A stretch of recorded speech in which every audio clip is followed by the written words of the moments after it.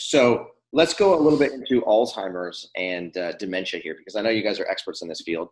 And uh, there's a strong connection between Alzheimer's and insulin resistance, as well as dementia and insulin resistance. So, can you guys give us a little insight here into how insulin resistance can affect your risk for dementia and or Alzheimer's? So I'm going to describe the, the, the differential between dementia and Alzheimer's, and you can. Uh, so dementia is the bigger category. It's the umbrella category.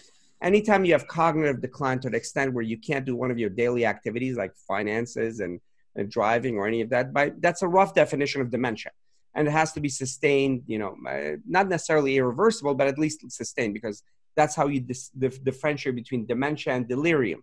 Delirium is when that momentary, uh, you know. Um, a period where you can't you don't know where you are and and you're uh, confused but usually people go back to normal but dementia is a sustained cognitive decline to the extent that they can't do their daily activities. But there are many types of dementias. The biggest one is alzheimer's. 60 to 70% of all dementias is alzheimer's. Then you know you have your lewy body disease your vascular dementia your frontotemporal lobe dementia your you know huntington's dementia and many other dementias. But alzheimer's is the biggest category. Up to now, we've defined Alzheimer's clinically by this. By the way, when as the diseases continue, they all start looking the same because as they progress, all parts of the brain are involved, right? So you can't tell the difference later on. But it's early on that you can tell the difference. For example, Alzheimer's early on, invariably, usually a man that comes to us and says, you know, I'm fine. I can remember 50 years back, but I just, I just forget what I had for breakfast. Well, that's it. That's pathognomonic. That's symbolic of Alzheimer's. Short-term memory disproportionate to long-term memory. The short-term memory centers of the brain, the hippocampus, are affected very early, disproportionate to any other part of the brain. That's Alzheimer's, and there's a pattern to it. And usually, the protein that accumulates is the two proteins, two bad proteins, amyloid and tau. Uh, for frontotemporal lobe dementia, as the name implies, it's frontal lobe and temporal lobe, usually behavior disorders or language disorders. Lewy body disease, there's hallucination, visual spatial changes, and movement disorder together, and, and so on and so forth. But with Alzheimer's, especially, but, but, but, but with most dementias, but especially Alzheimer's, we now know that in a great majority, not all of them, but a great majority, insulin resistance happens quite early. Yeah and and uh, even before you know amyloid deposition we believe and and they start damaging the microvasculature and then and then they start affecting um, you know other parts of the brain but now we know that even other diseases like parkinson's have insulin resistance early on in fact one of the studies we did in cedars we were involved in uh, we treatment of the insulin resistance as a treatment of uh, parkinson's so insulin resistance happens very early in all of these diseases, but especially in Alzheimer's. Yeah, absolutely. And um, so, going back to the second part of this question, um, how does insulin resistance, how is it associated with Alzheimer's disease? Um, when you look at the function of insulin in the brain, it has so many responsibilities. It has a responsibility to, um, you know, provide glucose for brain cells as a fuel. It actually is involved in synaptic function, so message transfer from one cell to another.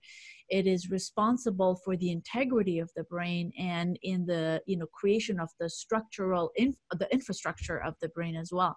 So during insulin resistance, a couple of things happen that is usually, you know, the the the beginning of a very vicious cascade that leads to neurodegeneration and cell death. Um, two of the processes that have been very well studied is accumulation of abnormal proteins, tau and amyloid. Now, tau and amyloid, they're proteins that are involved in Alzheimer's disease.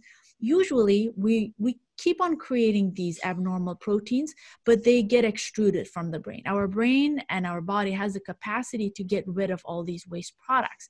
But during insulin resistance, something happens to certain enzy- enzymes, kinase enzymes, which actually makes them insoluble and then they deposit. So tau protein gets hyperphosphorylated mm-hmm. and they get deposited in the brain. Uh, the tau protein uh, are proteins that stabilize the microtubules in the cells all cells have microtubules, and microtubules are the scaffolding and highways within cells. And these little tau molecules stabilize them. When they get hyperphosphorylated, they come off and the scaffolding falls apart. Right. So there is one kinase that is the glycogen synthase kinase 3 or GSK3 that actually gets damaged with during insulin resistance and that starts the whole path pathway of hyperphosphorylation of tau molecules. The other thing that happens in the brain during insulin resistance is an overproduction or overexpression of amyloid precursor protein. So, this amyloid APP is responsible for making amyloid. So, too much amyloid is, is made and they get deposited. Uh, and they get deposited inside the cell um, and they cause damage to the infrastructure of the brain. So when there is a lot of these waste products that are produced and the brain doesn't have the capacity to get rid of it, it damages the cells, it damages the synaptic um, you know, connections between the cells. Um, at the cellular level, it causes mitochondrial dysfunction.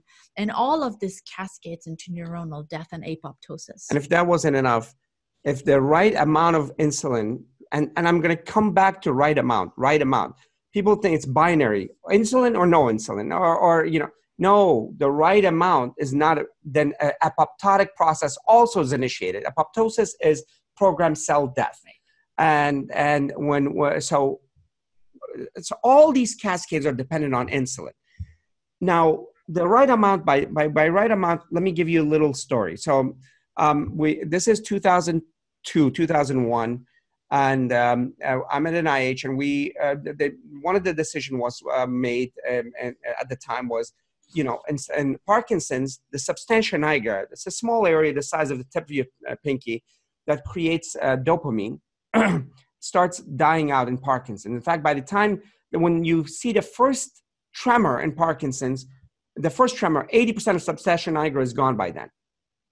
So they said, what if we put stem cells in that area, right? New cells that create dopamine.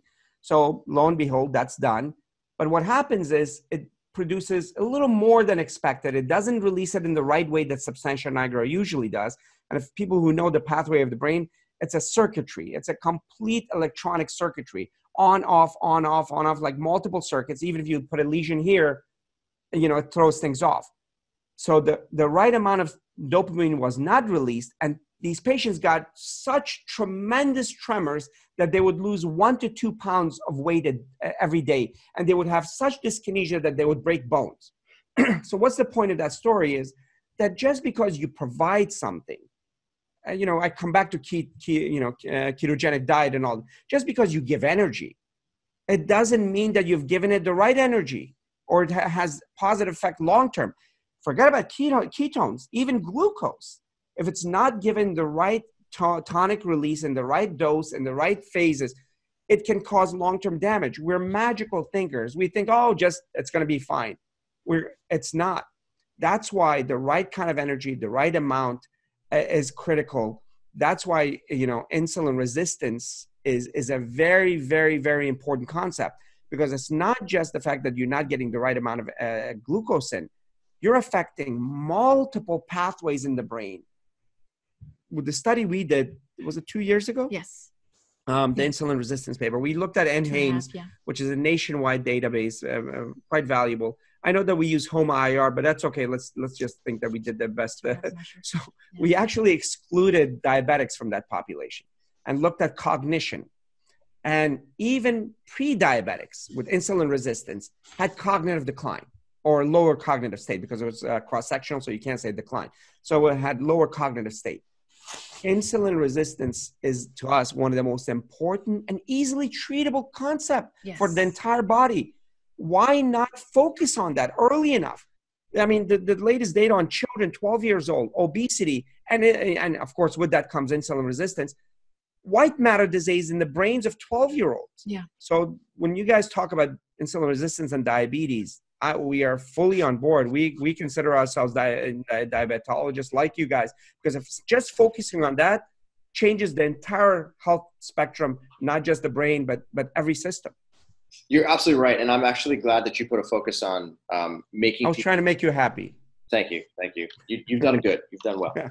Um, what I love is that you you put a focus here on um, making people understand that insulin is not the enemy. Insulin has never been the enemy. Insulin no. will never be the enemy glucose is not the enemy. Glucose will not be the enemy. It's when insulin and or glucose are out of balance uh, um, under in as opposed to what they would normally be doing in their normal physiological state.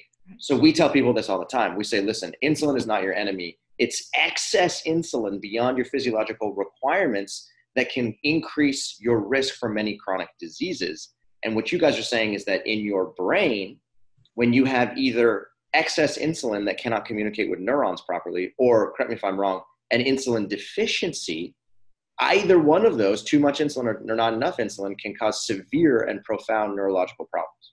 Absolutely, absolutely, and and and and and it starts very early because right. I mean we're talking about we think that it starts at birth. I mean, when is the brain growing the fastest? You know, in the first few years of life, when yeah. does it need yeah. the appropriate amount of energy? And you're giving them sugary, you know, foods, fatty foods. And and if you measure the, the the the, insulin levels in those poor kids it's fluctuating up and down like crazy. And and they have insulin. Now we know that there are you know there's epidemic of diabetic uh, uh, type 2 diabetes in children. There's epidemic of uh, uh, you know insulin resistance in children. We have to address it properly. We have to address it with food. We have to address it in a way that it's not just replacing one or you know lower it's you know homeostasis or a state of equilibrium that needs to be achieved. And how do you achieve that? Not you know just with pills and it has to be achieved with uh, with lifestyle